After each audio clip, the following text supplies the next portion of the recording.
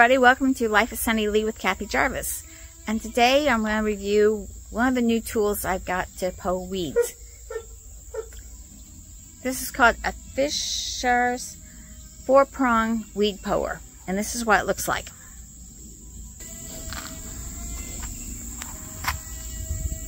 Okay, this tool is 39 inches long. It has four prongs on it that are three and a quarter inches long.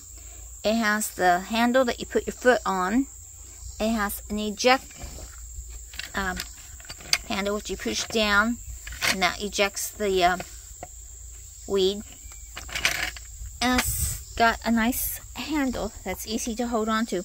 Plus I like the fact that it's got the little hole here that you can hang it up on a nail or you can put a string through it or a leather um, tie through it to hang it up so it's easy to store.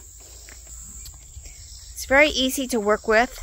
Um, I works on gravel, it works on um, sand, and it works in your yard. I just got through taking that weed out of this bed and it did not leave any marks or anything. I took it out right there and you see it left no mark or anything into the gravel. So it came out really nice. The complete root came out.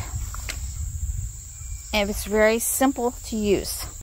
Okay, to use this machine, you make sure you have the ejection up so all your prongs are exposed. You put it over the root.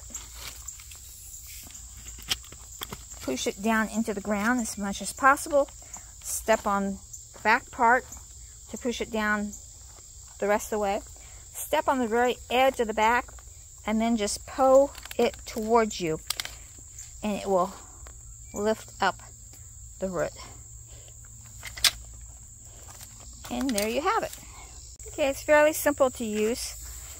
Pull the handle up, put the prongs over the root, push it down into the ground, step on the back part, push it the rest of the way down, step on the very edge and pull the handle towards you and up comes the plant. All. And then you just push the eject. Hard to do with one hand.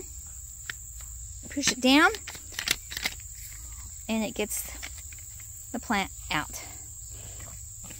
So your plant's out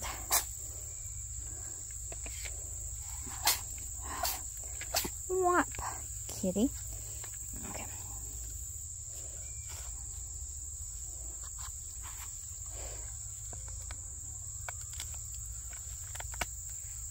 Okay, if you find the weed that you want, put it over the weed, over the root, push it down, step on it, push it all the way down, step on the back of it, pull it towards you, and up comes the weed. To eject it, Push your handle forward and it ejects out. Simple as that. I find this works with large weeds, but it's a pain if you have a whole bunch of little weeds. You have to do each one individually. But if you do have a large weed that you want to get rid of, this works really, really well. But it's just too time consuming on a bunch of little weeds. Otherwise, it works pretty well. So I would recommend it. Like I said, if you have a bunch of large weeds or just a few weeds out in the yard that you want to get rid of. But as far as weeding a whole bed of gardening stuff, no, you're better off just pulling them, waiting for it to rain or watering it good and just pulling them by the by your with your hands. But it does have its uses. So I hope you enjoyed the video. Hope you enjoyed the review. Remember to like, share, subscribe and I'll see you in the next video. Bye, everybody.